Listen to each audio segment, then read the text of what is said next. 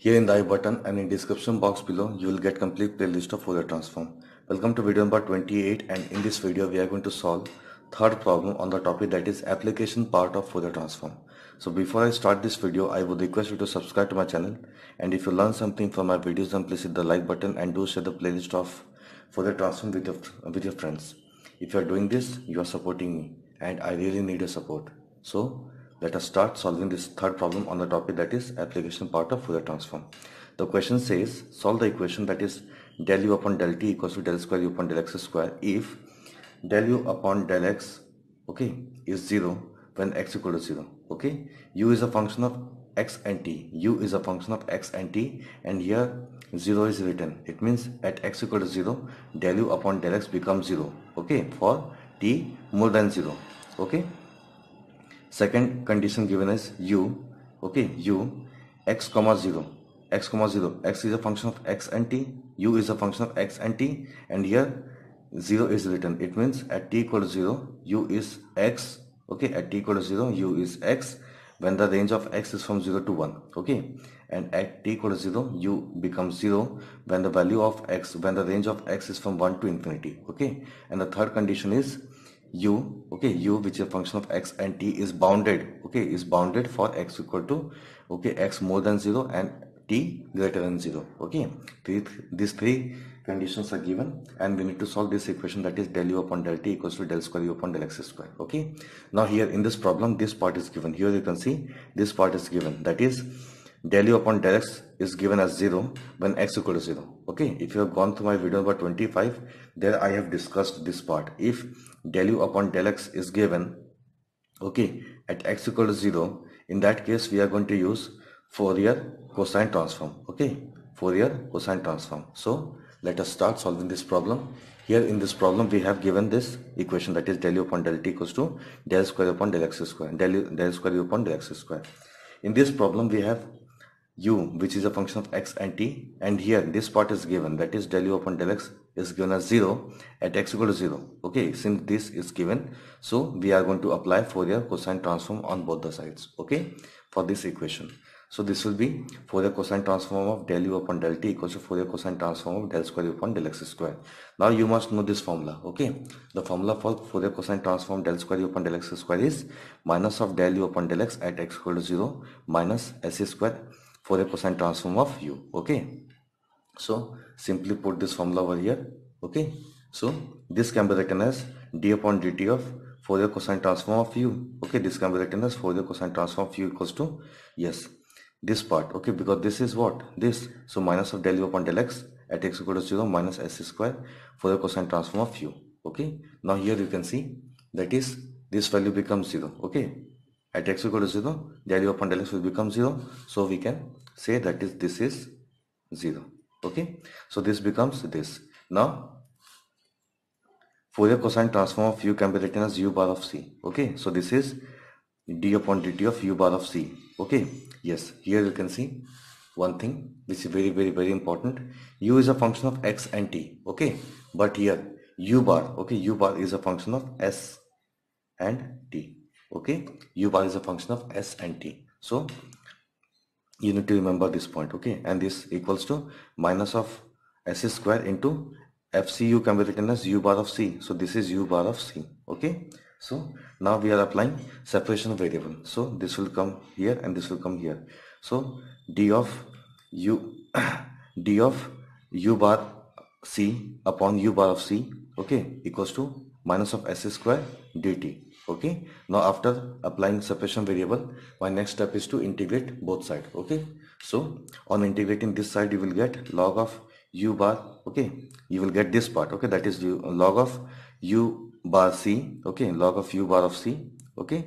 Equals to this part will become minus of s square t and we have a constant okay? That is log c. Because of this log we have log c now simply take this log here. So this will become log a minus log b that is log a upon b. Okay? So log a upon b that is log u bar of c. Okay? U bar c upon c. Okay? Yes.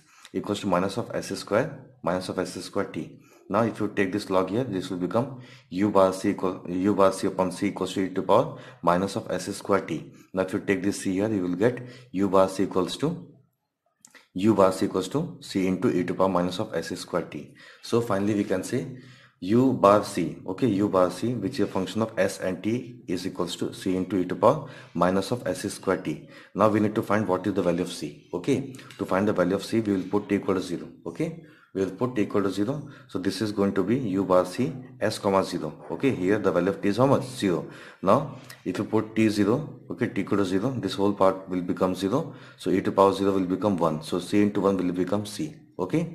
So on putting t equal to 0 u bar of c will at s okay at t equal to 0 will become c. And let's suppose this is my equation bar 2 okay. Now we know that is from general formula of Fourier cosine transform. We have this formula. Okay that is Fourier cosine transform of s equals to integration 0 to infinity f of x into cos sx dx. Okay? This is what? This is u bar of c. Okay? Which is a function of s and t. This equals to integration 0 to infinity. This is what? u. Okay? u is a function of x and t. u is a function of x and t. This part is as it is. That is cos sx okay? dx. Now we will put now if you want to make this as this you need to put t equals 0 okay? And after that we will equate and we'll get the value of c. Okay on putting t equal to 0 you will get u bar of c s comma 0 okay here we have here we had s comma t but since t equal to 0 so i need to write here 0 this is equals to integration 0 to infinity. U is a function of x and t and here t is 0 so u x comma 0 cos sx dx okay now this uh, limit that is 0 to infinity can be divided into 0 to 1 and 1 to infinity. Okay now here we need to see yes u. Okay here you can see the function is u x comma 0 that is at t equal to 0 what is u? So here again you can see u x comma 0 that is at t equal to 0 u becomes x. When the limit of x is from 0 to 1 and this u at t equal to 0 becomes 0 u becomes 0 at t equal to 0 when x is from 1 to infinity. Okay so we are going to use this. So simply apply this that is integration when the limit is from 0 to 1 in that case what is function u? That is okay u will become x. Rest is same that is cos sx dx. And plus integration when the limit is from 1 to infinity in that case u will become 0 so this whole part will become 0 so simply solve this part by using chain rule okay this as my first function. This as my second function as per ILATE rule okay? So first function integration of second function. Integration of cos will become sine sx upon uh, coefficient of x that is s okay? First function uh, first term positive second term negative okay? Now differentiation this will become 1 now integration this will become integration of sine will become minus cos. So minus cos sx upon s and here already we had s so this will become s square. Again the limit is from 0 to 1 okay? So now this is as it is. That is u bar of c at t equal to 0 now simply put okay yes if you arrange this if you open this bracket you will get x into sine sx upon s plus negative negative become positive cos sx upon s square limit is from 0 to 1 now if you put limit okay if you put upper limit here this will become cos s upon s sorry sine. If you put upper limit here in place of x this will become this will become sin s upon s. If you put lower limit here this will become 0 okay. Similarly if you put upper limit here this will become cos s upon s square. Now if you put lower limit okay that is cos 0 will become 1 okay. Upper limit positive lower limit negative that is 1 upon s square okay. So finally we can say that is at t equal to 0 u bar of c okay u bar of c s comma 0 will become sin s upon s plus cos s upon s square minus 1 upon s square okay let's suppose this is my equation number 3 okay now equating equation number 2 and 3 what is equation number 2 yes u bar of c okay u bar of c s comma 0 equal to c and here in equation number 3 we have u bar of c s comma 0 equals to this part okay that is sin s upon s plus cos s upon s square okay minus 1 upon s square okay now if you combine both that is from equation number 2 and 3 we can say that is c equals to sin s upon s plus cos s upon s square minus 1 upon s square. Now putting the value of c in equation number 1. What is equation number 1? This is my equation number 1. Okay, that is u bar c okay s comma t. U bar is a function of s comma t. This equals to c into e to power minus s square t. This is equation number one.